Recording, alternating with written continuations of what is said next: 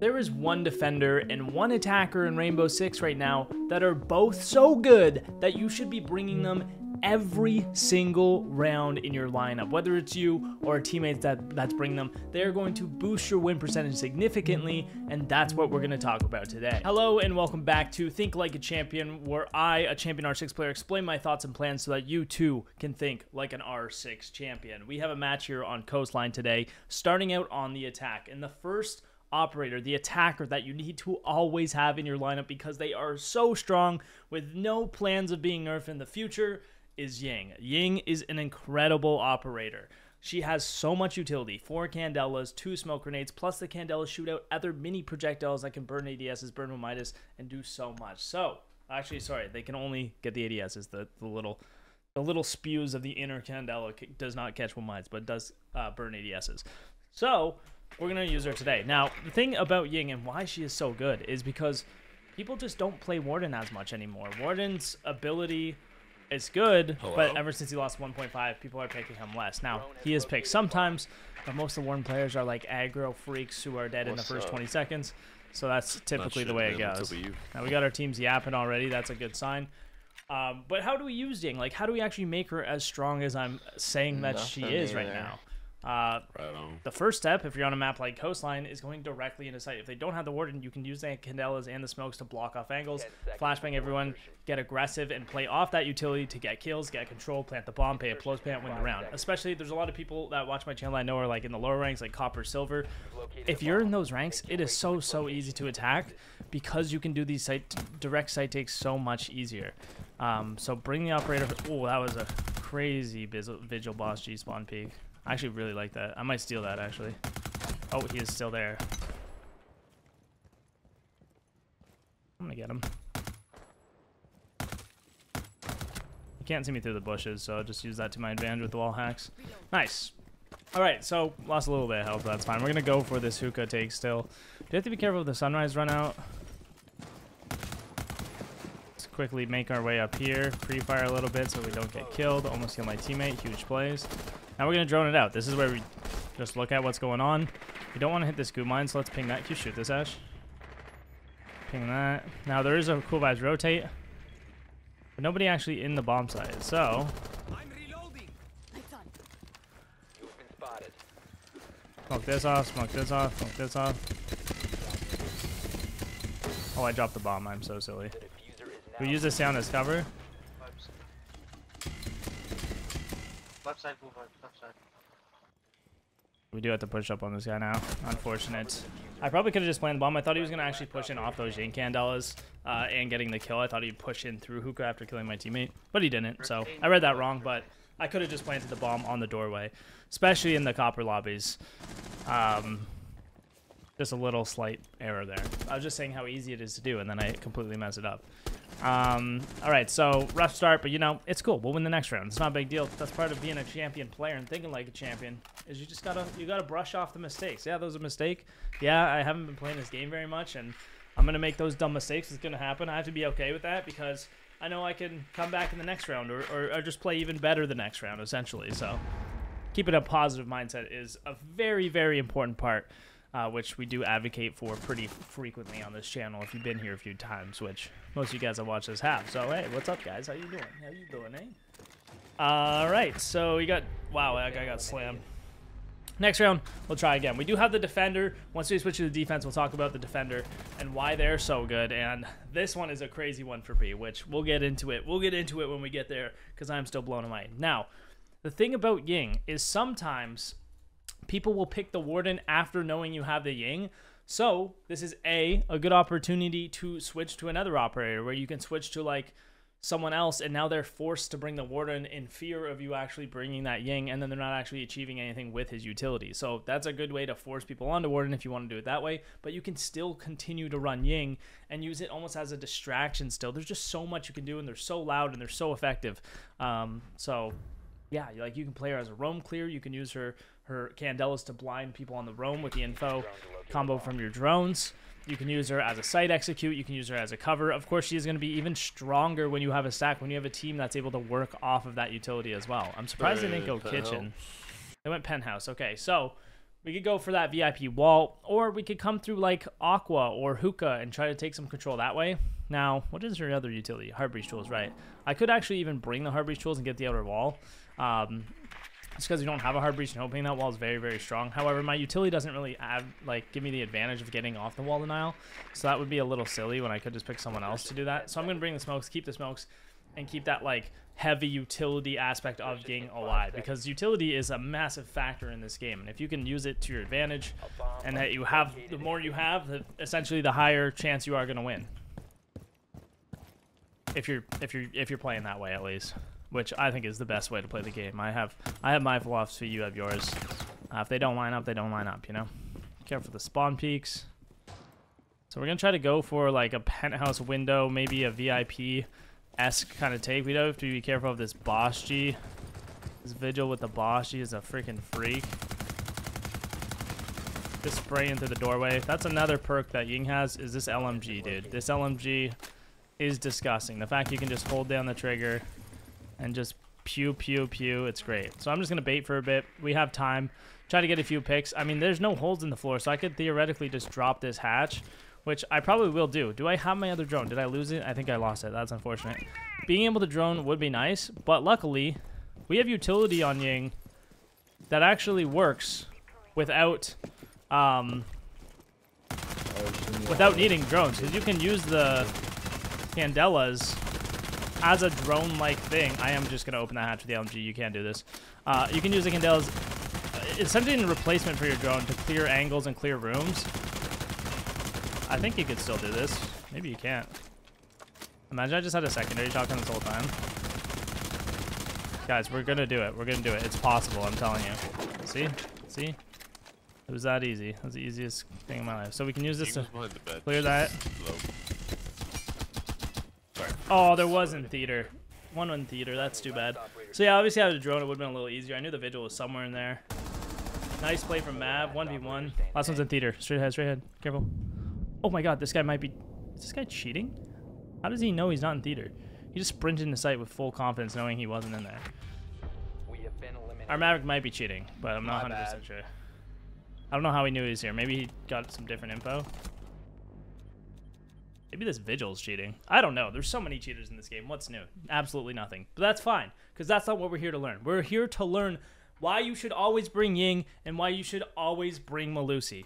And uh, unloading entire mag on a hatch probably wasn't my greatest idea, but I was already I was already so far gone. I had to finish it off for you guys. For your guys' sake, I had to finish opening the hatch. Um, and we did, and we did. And honestly, it wouldn't have made a difference either either way. If I killed the frost and died to the vigil, the vigil still wins it. So whatever. All right, last round on attack. Uh, I'm not doing a great job of showing off Ying's prime features, but hey, let's get active. You know, you know, you can't win them all. You can't win every round, guys. That's that's part of this. That's part of this series. It's part of the the raw nature of think like a champion. Is sometimes you lose rounds, sometimes you win them, but the game is not over until it's over, and that will always be the motto. We're going on to defense next round. We'll talk about the defender um, that you should bring every single round and see if they have it on the other team. All right, I will give you a hint. It is one of the five operators on the other team right now. Can you guess? Guess in the comments. Who do you think it is? Who do you think it is? Take your guess now before it's too late, before it's next round and I reveal. All right, so what are we dealing with? We have quite a bit of trap utility, Melusi, Lesion, uh, and Melusi has four now, so that's going to be even more difficult to deal with. And then the Gu mines as well, so it's gonna be a, it's gonna be difficult to hit the site, especially the fact they brought the the ward now as well. However, still got Ying's prime features, and distraction is one of them. Can you still run up here? Yeah, you can. Eh? I wonder what this guy is shooting at.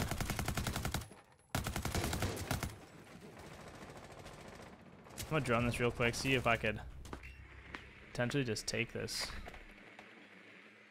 Where's this warden? This guy's on the B-bomb, that's the vigil. The warden's gonna come in on that. Must recover the diffusion. Interesting play by Capitão, just smoking down. I'm gonna kill this vigil, I think. I'm Still behind blue bar. There's that vigil. It's a little pixel angle. No, this is the warden. I'm gonna ying as a bait and then just hold the angle and wait for him to swing.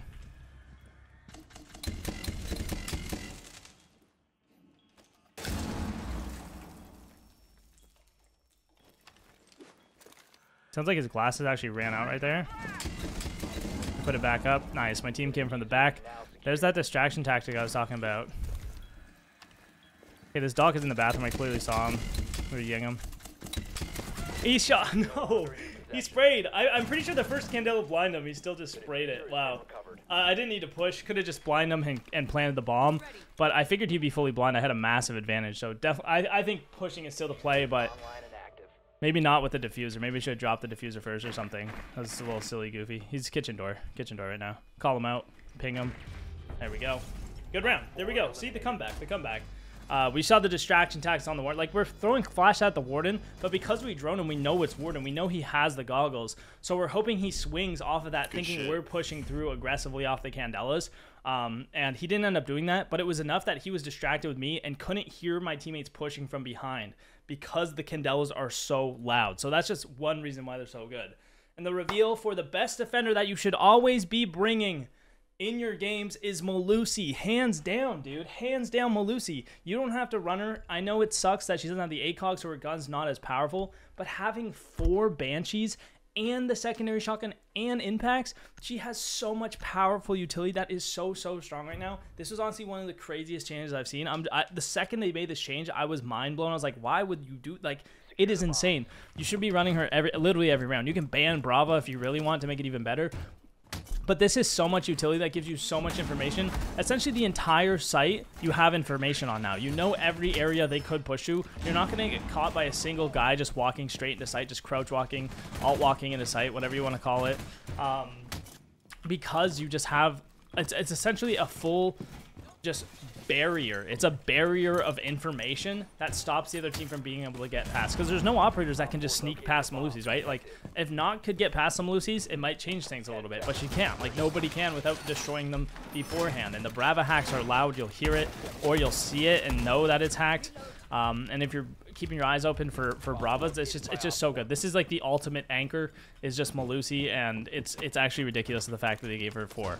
Um, so yeah, I mean, what's what's not to love?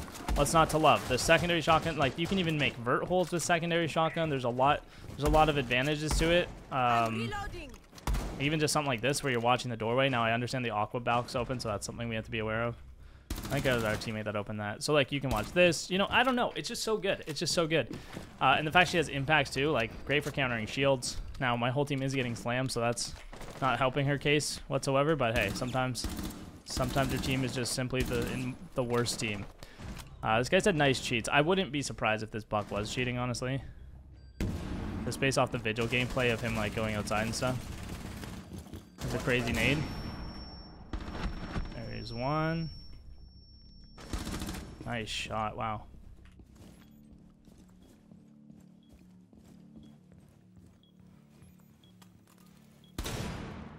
There's that Monty. The buck is behind him.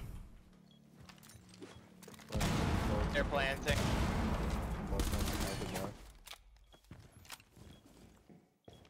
Monty's injured. Oh, it's a 1v1, nice. Dang it! Should have won that. Oh, I, I think, yeah, I think he is actually cheating, so. Either that or he's just quick peeking. I don't know. It's hard, it's hard to say. It's really hard to say. Who knows? Either way, I probably should have won that. Uh, I didn't realize I downed the Monty till after I was trying to back up and get into a spot where it was actually safe to play the cover of the bomb. But I could have just out in the reinforcement. It's just such an awkward fight on that reinforcement because it's hard to tell which of the which of the sides he's going to sometimes. Um, but hey, we almost had it. We almost had the one v four, but maybe next time. You could tell from the Melusi though. What really helped me there was the wubs. I could hear them pushing Aqua side because of the Melusi web on that billiard table that I had. Um, it also slowed the guy on Cool Vibe, stopped him from pushing right away. It slowed the guy VIP Hall, so it allowed me to take those 1v1 fights easier because it gave me the time to do it. So even though it doesn't it didn't really seem like they did anything, they really did. They actually did. Like it didn't seem like when you're watching it like they did anything, but for me as a player, it gave me a massive advantage. So, um I don't know what's going on in the chat. Who knows what's happening? You never know. Cheaters everywhere. Nothing is new. It's something I'm kind of just over at this point. You know, people are going to cheat and there's going to be cheaters, and I'm going to still try to teach you guys how to play the game because, you know, that's what you're here for. So that's what I'll be here for. We'll do the same Melusis. I think those were all very useful, uh, and again, just gave us that surround sound essentially of the site. Put this one up on the billiards table. Bomb located by Op 4. Now, we don't have a rotates yet, but no problem. We got the Melusi shotgun. They gave her a shotgun along with the four Banshees, which was absolutely insane. Still, it blows my mind crazy. Um, should make a cool vibes rotate as well. I might even use my impact at this point just because it is 2 minutes and 40 in the round. But actually, we got drone hold from VIP. That stuff. Push drone, not to do anything.